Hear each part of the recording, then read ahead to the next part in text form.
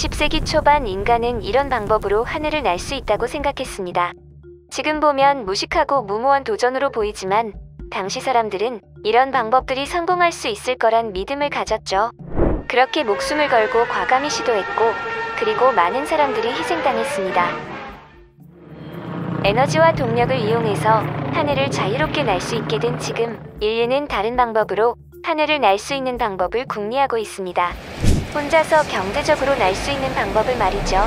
엔진을 이용한 솔로 비행은 이미 많은 것들이 개발되어 있습니다. 이러한 제트 엔진 비행체들은 고비용 수단들입니다. 큰 돈이 들지 않는 방법으로 하늘을 날려면 우선 동력을 이용하지 않아야겠죠?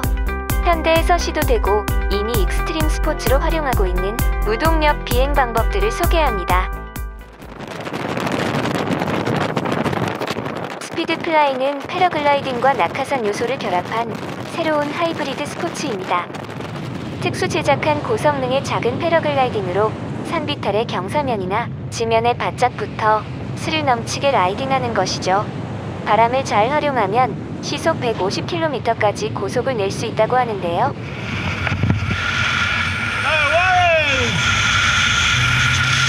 보기만 해도 꽤 위험해 보이죠? 실제로 이 스포츠를 하다가 암석에 부딪혀 사망한 사람들이 2006년 이후로 50명 이상이라고 합니다. 유럽 알프스 주변 국가들에서 이 스포츠가 유행하고 있는데요. 전 세계 약 3,000명이 리스크 높은 이 스포츠를 즐기고 있다고 합니다.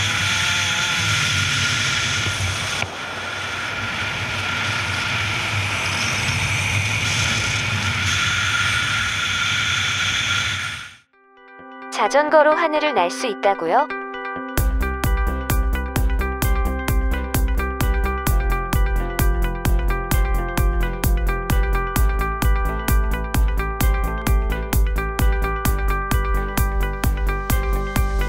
스위스의 한 사이클 선수는 백팩에 패러글라이딩을 가지고 다니며 절벽이나 고지대에 직면했을 때 자전거를 직접 패러글라이딩에 매달아 점프하고 자전거 비행을 한다고 합니다.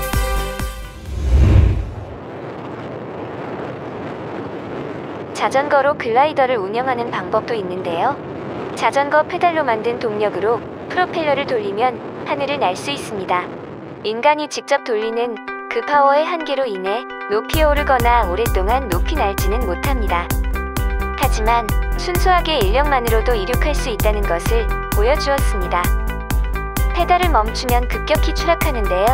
조정사가 체력이 떨어지면 글라이더는 추락할 수밖에 없습니다. 이 글라이더 바이크는 우리나라에서도 항공대를 비롯해 여러 대학들이 직접 실험을 하고 있습니다. 어릴 적엔 풍선이나 우산을 타고 하늘을 나는 꿈을 꾸어본 사람이 많을 텐데요. 실제로 이 실험에 성공한 사람들이 있습니다. 미국의 마술사 데이비드 블레인이 2020년 9월 애리조나의 한 사막지대에 나타납니다. 그는 50개의 크고 작은 헬륨 풍선을 이용해 고도 7,600m 상공으로 올라가 스카이다이빙을 할 계획입니다. 모험적인 것은 상공 2,200m를 오를 때까지 그는 낙하산을 착용하지 않은 상태라는 것입니다. 낙하산을 풍선 사이에 매달고 올라가지만 착용은 2,200m 지점에 도달해서야 할 계획이며 그 이전까지 헬륨 풍선이 터지거나 이상 기류에 말리면 낙하산 없이 추락할 수도 있습니다. 그의 몸은 헬륨 풍선을 단 쇠기둥에 묶여 있습니다. 2200m 지점에 도달하여 낙하산을 착용합니다.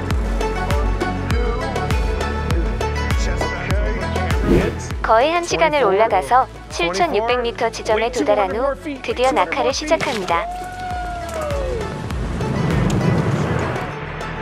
처음으로 사람이 직접 풍선을 들고 하늘을 날아오르는 실험은 이렇게 성공합니다.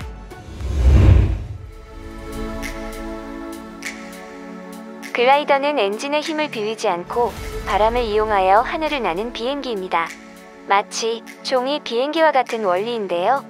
글라이더는 일단 공중에 띄워놓기만 한다면 상승 하강 기류와 기압차 그리고 풍향을 이용하여 고도를 조정할 수 있습니다.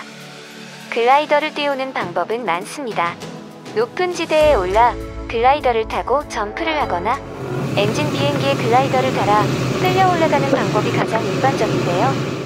하지만 더 쉬운 방법으로 사람들이 줄을 잡고 잡아당겨서 바람을 타고 하늘을 날게 할 수도 있습니다. 마치 연을 날리는 동작처럼 말이죠. 글라이더는 경량 탄소 섬유를 이용하여 만들어지기 때문에 무척 가볍습니다. 사람이 손으로 분에 조립할 수 있고 직접 운반도 가능할 정도죠. 이렇게 가벼운 글라이더는 인간의 힘만으로도 충분히 이륙하게 할 수 있습니다. 일단 공중에 부양된 글라이더는 컴퓨터의 도움으로 오랫동안 그리고 안전하게 비행을 할 수 있습니다. 난기류와 돌풍을 만나지 않는다면 말이죠. 글라이더 조정은 날개를 움직이는 핸들로 하며 비행에 관련된 정보는 GPS와 라디오, 그리고 고도계와 풍향계를 활용합니다. 고급 글라이더에 부착된 컴퓨터는 글라이더가 더 오랫동안 안전하게 비행을 할 수 있도록 도움을 주죠. 착륙은 어떻게 할까요? 일반적으로 천천히 하강해서 조종사의 발로 직접 내려오거나 또는 스키드로 하는데요. 최근에는 브레이크가 달린 바퀴로 안전하게 착륙한다고 합니다. 패러글라이딩에 침대를 달고 하늘을 나는 도전을 하는 사람도 있습니다.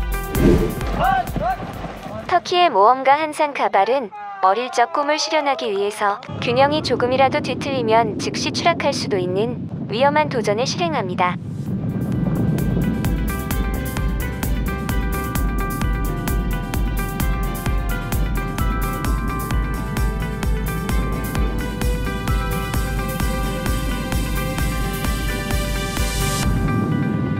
느끼고 싶어 하는 사람들의 본능과 도전 의식은 참 대단한 것 같네요.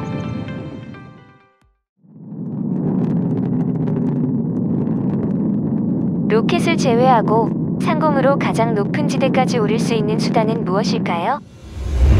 열기구입니다. 열기구의 부상 능력은 비행기보다 높습니다.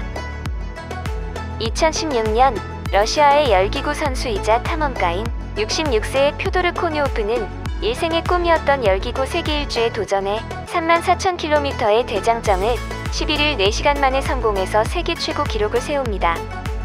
호주에서 출발하여 남극의 10km 상공에서 영하 56도의 온도를 극복하고 잠을 거의 자지도 못하면서 3kg의 식량과 100리터의 식수만으로 버틴 기록이어서 인간의 한계를 극복한 대기록으로 인정받고 있습니다.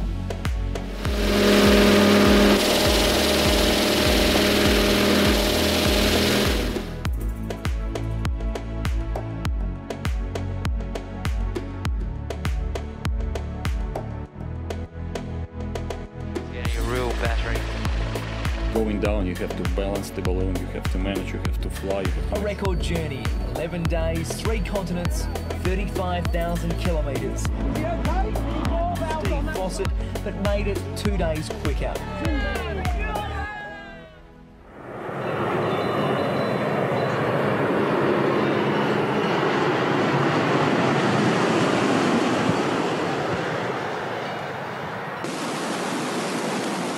윙슈트는 가장 저비용으로 하늘을 비행하는 수단이죠.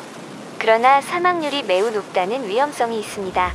그럼에도 불구하고 전 세계 수만 명의 사람들이 극한의 위험도 아랑곳하지 않고 이 익스트림 스포츠에 도전하고 있습니다.